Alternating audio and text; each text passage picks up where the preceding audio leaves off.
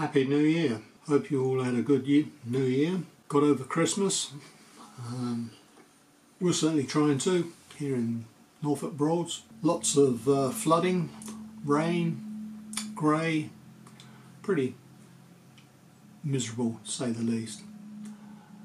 But um, anyway, welcome to the channel again. And yes, I've made that decision, and it's um, quite involved so far as what I want, what I need, and the um, practicalities. Now, I'm not one who likes carting a tripod around, so I tend to shoot from the hip, and I will either be stalking my subject or I'll be walking along a hedgerow, and it'll be a case of camera up opportunity um, take the images that I need. So a lot of my photography is not set as such. I mean, yes, a few times I'm in a hide, but then um, the subjects are not set. There's not, there isn't food being put out. It's not a set um, shoot like some. Mine is all wild and on the hoof, as they say. So one of my big things is camera stabilization. Now the camera stabilization in the OM1 is second to none. It's very good. But when you put a reasonable size lens on, it uh, makes things more difficult, especially if that lens hasn't got any stabilization built into it, or if it has got stabilization built into it, that that stabilization doesn't sync with the stabilization in the in-body stabilization of the camera and that doesn't work on the uh, Panasonic Leica lens that I'm using at the moment. I rely purely on the in-body stabilization and if I got the Olympus 100 to 400 lens it has inbuilt it has uh, lens stabilization but it doesn't sync with the stabilization in the body of the camera. Neither of those are particularly good but the Olympus Prime f4 300mm has built-in stabilisation which works in conjunction with stabilisation built into the camera body which means you're less likely to need a tripod. So that's a plus. The other plus is that you can put a 1.4 teleconverter onto it. So I'm looking at the Olympus 4 300. You can put the 1.4 teleconverter on. Um, you lose a stop of light doing that which is not good, but it's to be expected.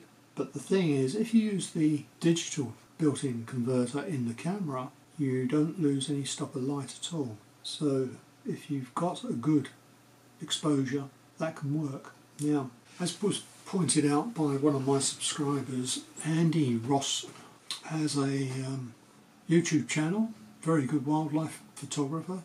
In fact, quite brilliant actually. I'm sure he won't mind me saying that. Um, but you need to go and have a look at his channel. I will put a link to his channel. And he's just found the uh, two times converter on the OM1 which when you use that you've just got JPEG. And you think oh JPEG that's not so good. And I must agree I, I looked at it and I wasn't blown away. The thing I didn't look closely enough and the thing that um, he found was that you have a setting, if you look at the settings, the JPEG settings, you can have large file and large fine file, which is all well and good. But the thing you don't see is that you can have a large superfine file, which makes all the difference. makes the uh, image a lot more acceptable compared to your raw file. And he's found that and he's been using that. Um, very effectively. In fact, some of his images you can't tell the difference between the JPEG and the RAW file. I know it takes some believing, but have a look in the link and I think you'll be quite blown away by that. So we have that option as well. So if you combine the two, you're going to get quite a throw using just the um, 300mm uh, lens. There was a reasonable amount of light um, not the best and I think everybody else in the county had decided to do the same thing. I think we are all feeling pretty frustrated, so everybody was out there. But did manage to get some shots. Um, we had uh, marsh harrier, uh, short-eared owls, etc. So I got one or two shots. Have a look, see what you think. As I say, not the best because my ISO was up to 5000, which is way, way too high. I had to use a bit of software to bring that down, smooth it out, um, get rid of the noise as much as you can without losing all the sharpness. And uh, well, anyway, have a look at the results, see what you think, and also have a look at Andy's website as well because he's done a br brilliant job. Um, but then he is a professional, knows what he's talking about. Um, I know a lot of people will disagree with him, as I thought when he first said that using JPEGs. I thought, no, no. Um, but using the superfine setting on a good exposure, you can get a very good results, as you will see if you look at his video. Okay, so I wish you all well, and until next time, uh, hopefully, possibly see some of you out there. Thanks to my many subscribers now. I'm getting more subscribers. I much appreciate that. It doesn't cost anything to subscribe and uh, keeps you updated to when I put out another video or any of the other things that I do. So do follow me on Facebook as well, um, Instagram and so on.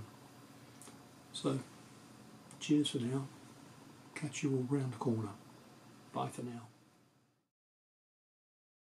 Well, if you know anybody who's giving away an Olympus f4 300 lens, then please let me know. Um, I am in the market.